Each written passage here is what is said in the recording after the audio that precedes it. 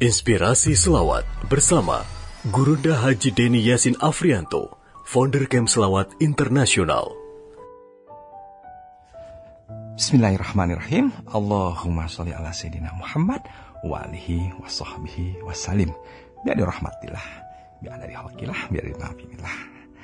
Sahabat para perindu-perindu baginda Rasulullah Shallallahu Alaihi Wasallam di mana saja berada, para pendengar setia Radio Kem Solawat, juga para pemirsa Solawat TV.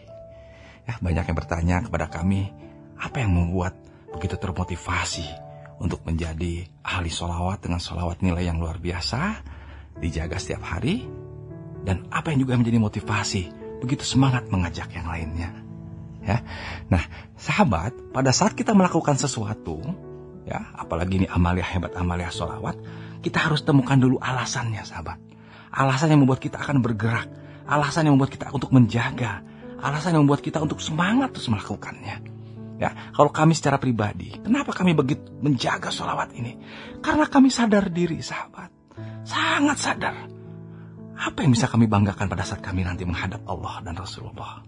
Ya sholat yang begitu susah untuk lebih baik mungkin kami akan tetap lakukan sholat dengan rukun-rukunnya dengan apa yang diajarkan oleh guru-guru kami.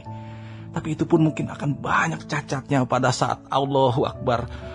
Banyak ingat sana sini ya puasa kami juga jangan-jangan hanya lapar dan dahaga tapi tetap kami akan sempurnakan dengan sholat puasa wajib puasa sunatnya juga amalia-amalia infaknya mungkin tidak seberapa tapi begitu cacat dengan ria dan ujubnya dan ternyata guru-guru menyatakan bahwa ada amalia hebat yang namanya solawat. Dan ini menjadi amalia agung karena Allah melakukannya. Dan ini pasti diterima. Ya, Hanya orang bodoh yang tidak tertarik dengan ini. Hanya orang-orang yang betul-betul dalam cengkraman setan mungkin iblis yang tidak tertarik dengan tawaran ini. Oleh karena itu, kami begitu semangat melakukannya karena kami butuh amaliah yang membuat kami tenang bekal untuk kubur nanti. Apalagi dijanjikan oleh Rasulullah dalam hadis yang luar biasa dari Imam Tirmizi. Hai umatku, seperti dipanggil kita semua nih. Wahai umatku, perbanyak solawat. Agar kalian dekat denganku. Nah, dekat itu yang kita incar dan banyak itu syaratnya.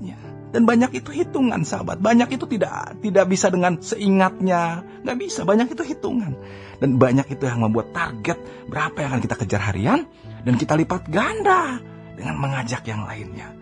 Makanya KM Salawat sangat aktif bagaimana kita bisa terus mengajak lagi, mengajak lagi. Walaupun hanya cuma share, ngajak mereka dalam training-training kita. Mungkin hanya cuma motivasi bagaimana orang itu bisa mempertahankan salawatnya. Tapi itu akan menjadi salawat kita manakala kita sudah mengajak orang-orang tersebut.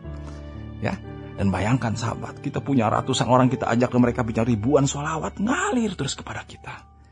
Dan inilah yang harus kita pertahankan apa yang menjadi motivasi agar kita mau melakukan itu ya dan secara pribadi kami ada uh, apa dua orang tua yang meninggalkan kami sejak kecil ya, ayah ibu kami dan ini menjadi target kami yang kami niatkan setiap maghrib ya Allah Salawat dari lisan ini ya Allah yang banyak dosa ini Juga salawat dari orang-orang yang kami ajak ya Allah Kirim ya Allah kepada almarhum ibu kami Almarhum ayah kami juga kepada keluarga kami. Coba bayangkan sahabat begitu begitu luar biasanya mungkin yang saat mereka terima.